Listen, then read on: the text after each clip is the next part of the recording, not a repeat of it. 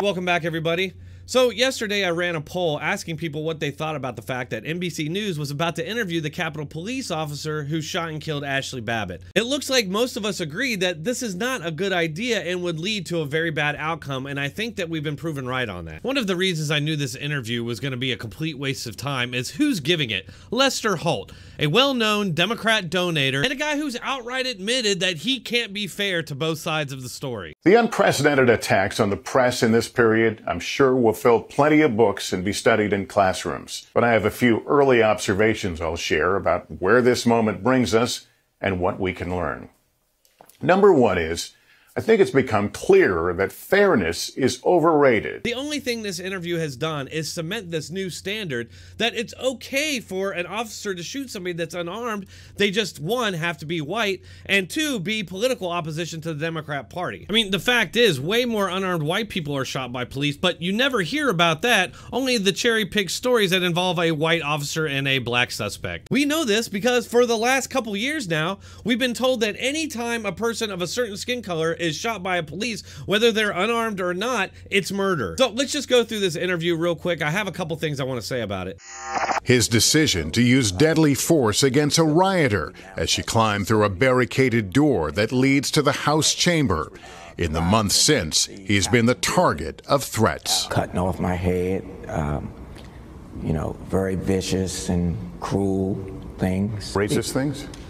There were some racist attacks as well. All right, so right off the bat, we're being told that this guy is actually a victim. And of course, he's a victim of racism. Even though in this situation, it was the black cop who shot the unarmed white lady. So you can see already that the normal standards that would be applied here are just right out the window. We literally have violent communist mobs under the banner of Antifa and BLM showing up not just to cops' homes to threaten them, but the Democrat Party's political opposition. And these people are being incited and being given cover from the media. I'm going to tell you what I think about the rest of this interview, but first take just a quick moment to hear about this special offer from healthwithdronetek.com. Studies show that the adult body produces 10% less collagen every decade.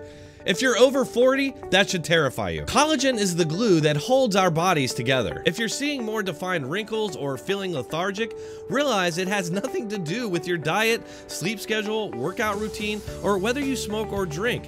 It has all to do with your body's natural collagen production. This is why I highly recommend healthwithdronetek.com. I've noticed that I look younger, have fewer wrinkles, and have more energy since taking my multi-collagen. My skin specifically looks and feels so much firmer I didn't have to get on a new diet, sleep more, or start exercising for it to work. Anyone over 40 should be taking advantage of this new opportunity in anti-aging technology. Learn more by going to www.healthwithdronetek.com. Furthermore, you'll get 51% off your first bottle if you order today, plus a 60-day money-back guarantee.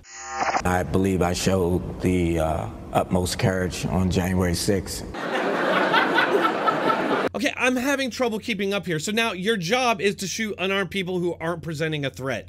If Ashli Babbitt was truly coming through the window and you felt threatened, why didn't you just grab her, tackle her, and arrest her? Of course you didn't do that. You just pointed the gun and murdered her. Responsible that day for securing the House chambers, Byrd couldn't see what Americans were witnessing on their TVs, but he could hear it in the pleas from other officers. Were you afraid that day? I was very afraid. What are you hearing on your radio? I'm hearing about the breaches of different uh, barricaded areas, uh, officers being overrun, officers being down. Did you ever hear a call or a report of shots fired during any of this? As a matter of fact, I did. There was reports of shots fired through the house main door. Except there were no shots at the Capitol. What is he talking about? He just lets him make the claim. And now it's out there in the public conscious. Typical drive-by media bullshit. I wonder if he was hearing any radio chatter about the fact that most of those people had just been let in and were walking around peacefully as if they were on a tour. I mean, even in the video that they just showed there, if this was such a murderous, threatening mob, then why were they staying within the velvet ropes? They want you to believe that something way worse happened there than what actually happened. And they prove it every time they show the footage of people pushing or being mildly rowdy with police or just walking around or maybe just waving flags. If this is so threatening, then why didn't the officers at the Capitol feel as threatened when mobs of Democrats invaded to try and stop the confirmation of Brett Kavanaugh? Or how about when George Bush won in 2004, Democrats claimed the election was stolen and then they rioted and actually attacked Bush's motorcade. Bush's limo hit the gas to prevent an even larger riot. Yet somehow nobody was shot and killed. Officers barricaded the door, what he considered the last line of defense. I had been yelling and screaming as loud as I was, please stop, get back, get back, stop. We had our weapons drawn. There's a gun! There's a gun! Byrd, only his hand and gun visible, targeted a figure trying to climb through a window. You're ultimately hoping that your commands will be complied with. He was 35 years old, an Air Force veteran, Trump supporter, and QAnon follower. Well, there you go. That was the justification for the shooting right there. Forget what she was doing. She was a Trump supporter. Oh, and she was a QAnon follower. We've been told just how dangerous these QAnon people are. Of course, no, they haven't rioted and burned down cities or killed dozens of people or ambushed and murdered cops. They haven't done any of that but they're really dangerous. We promise. We're just going to keep repeating that claim until it's true. But this is exactly what I'm talking about, folks. Lester Holt and this guy want you to think that it was okay to kill this woman because she's a Trump supporter and because she believed in QAnon and she was trespassing. I mean, can you even see what's going on in that video they keep showing? They just show him go almost to point blank range and shoot. He keeps claiming that he was telling everybody to stop, stop, but you can't even see him. His arms are just poking out from behind a corner. Not to mention those doors are closed and everybody's pretty loud. You can't really hear anything. Is there any actual proof that he did give these commands? Of course not. And does Lester Holt ask for it? Of course not. So it seems like that's the game they're trying to play here. Like, oh, well, she wasn't complying with orders. One, she was not being arrested. Again, she was surrounded by fully geared riot police who were not arresting her. And what evidence is there at all that she heard any commands? Again, I'd like to point out that you couldn't even see this guy. He was around a corner, the doors were closed, and it was really loud. And to be giving commands that he expects someone with to comply with or else he's going to shoot and kill them, he needs to make sure that they actually even hear his commands. Is there any indication whatsoever that Ashli Babbitt heard any commands from this officer before being shot? I seriously doubt it because as you saw in that video, he was hiding around the corner. She probably didn't even see him as she was up in that window. But again, we don't know because there's no real investigation into these details because any one of these little details could crumble their narrative completely. When you fired, wh- what could you see? Where were you aiming? You're taught to aim for center mass. Uh, the subject was sideways, and I could not see her full motion of her hands or anything.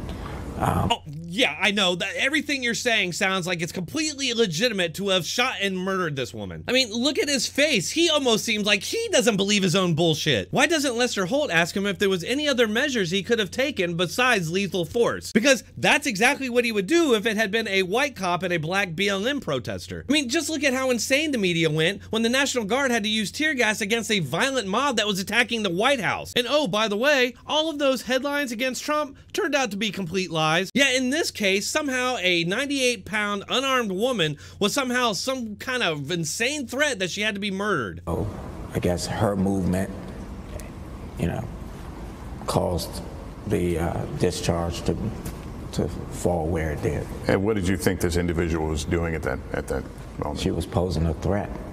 The fact that you weren't aware whether she was armed or not, did that alter the decision making? It did not. There were other officers in other potentially life-threatening situations who didn't use their service weapons that day. Um, I'm sure it was a terrifying situation.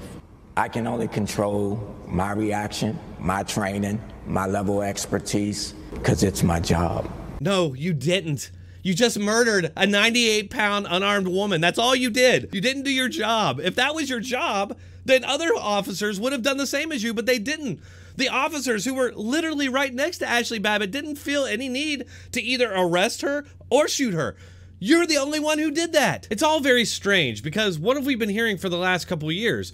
That anytime a police shoots somebody who's unarmed, it was wrong, it was murder, and it demands justice. Yet somehow, the media always seems to cherry pick the stories that involve a white cop and a black suspect, while always ignoring the details because they're inconvenient to the narrative. A great example of this would be Jacob Blake, who sexually assaulted a woman, then fought the police who were there to arrest him, while he had a knife and was trying to get in his car to kidnap two children. children. They shot him, and the media acted like the guy was completely innocent and the cops were murderers, which led to riots, incited essentially by the Democrats and their state media who didn't want to talk about the inconvenient details. All right, folks, I'm going to stop it there for my own health. If you want to donate to the Justice for Ashli Babbitt Legal Fund, I'll put the link for that in the description or pinned comment. I think it's an important thing to do because ultimately they look at us all like Ashli Babbitt and they could rationalize doing the exact same thing to all of us.